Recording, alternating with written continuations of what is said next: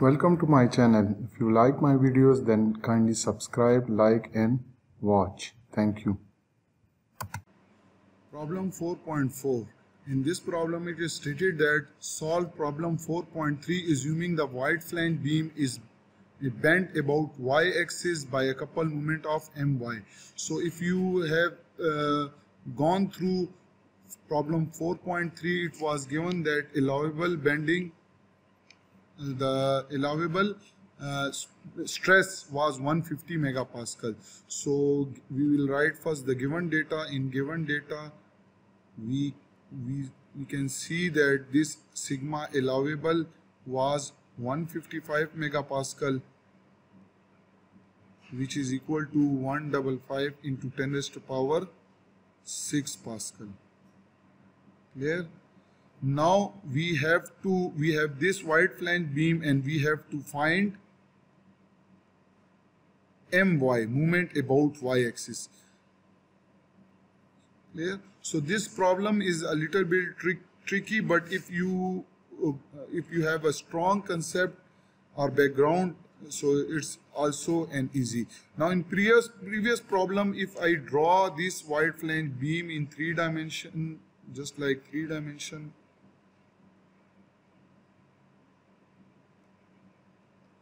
sorry. I draw it properly.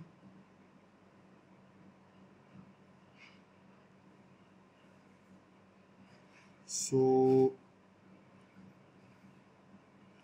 this is the beam so it's given that it's x-axis and its y-axis. Let me choose another color and this is z axis z axis so now you you have to take the moment about y axis so this is my. This will be my. So if you take the moment about this axis so your neutral axis will be this one. So if you draw again if i draw this figure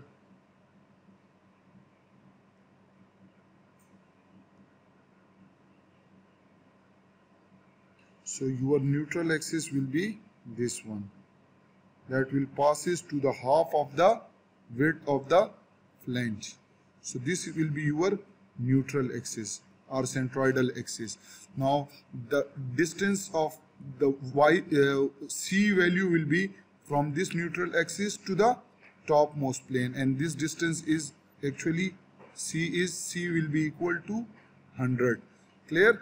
So rest the problem is same. So you have to if this is the one this is mem uh, 2 and this is 3 so we have to calculate the moment about y. So moment about y will be same formula sigma into i divided by c. So we have to first find i and this i will be equal to i1 plus i2 plus i3 and in this problem i1 and i3 will be the same. So let's start with this i1 so i1 will be basically equal to now this is the first member. And you can see this is the first member. And you can see it's 200 millimeter wide and its, thickness is 12 mm so now 12 as this is the neutral axis so its height will be this 100 clear its uh, sorry its height will be this total height 200 this will be its total height 200 and breadth is 1 over 12 and as the center is passing centroidal axis is passing through its center so there is no uh, let me write also 1 over 12 bhq plus ad square so as this center is centroidal axis is passing through its center, so there is no, the d value will be 0. So this terminology will be equal to 0. So we'll just have I1 will be equal to 1 over 12 BHQ. So this will be equal to 1 over 12. Now you can see that the value of B is 12. So 1 over 12 into 1 over 12 into height is 200 cube clear? So the value of i1 will be i1 comes out to be i1 is equal to 8 into 10 raised to power 6 mm power 4 and this will be equal to i3 because i3 and i2 are same. So we have calculated the value of i1 and i2 now we will go to i2 so i2 will be equal to 1 over 12 bh cube. Now what is b? What what is 2 so its width is this which is the thickness of uh, this web and that is 8 mm. You can see this is the 8 so 8 and total height which we calculated earlier was 196 so that will be equal to, actually 196 is the distance from this point to this point which we calculated in previous, previous problem and that is 196. Clear? So I2, when we calculate this value, so I2 is equal to uh, 8.36 into 10 raised to power 3 millimeter 4. So now we have I1, I2 and I3 value. So sum them to get the total moment of inertia. I will be equal to I1 plus I2 plus I3.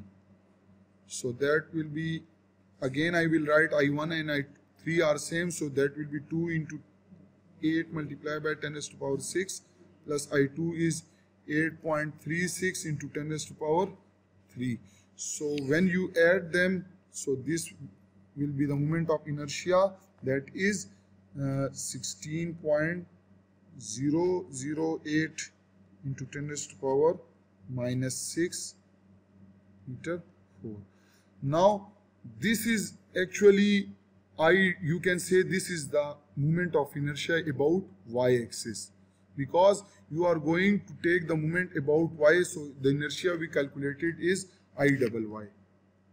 Second moment of inertia about y axis now you have to put the value for finding the moment about y that is sigma into i divided by c.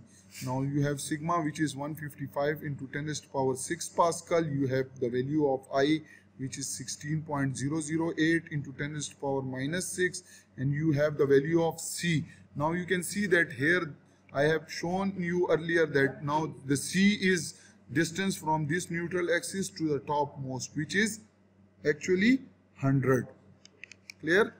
So put the value over here, the value of C is 100 so that in meter it will be equal to 0.100 So if you calculate it, you will get the moment of about y which is 24.8 kilo Newton into meter. So this is the moment that can be applied along uh, about y axis to the beam having allowable stress 24 uh, 155 megapascal. So this moment you can give the moment here as m is equal to 24.8 kilonewton into meter. So this was all about problem 4.4 solution.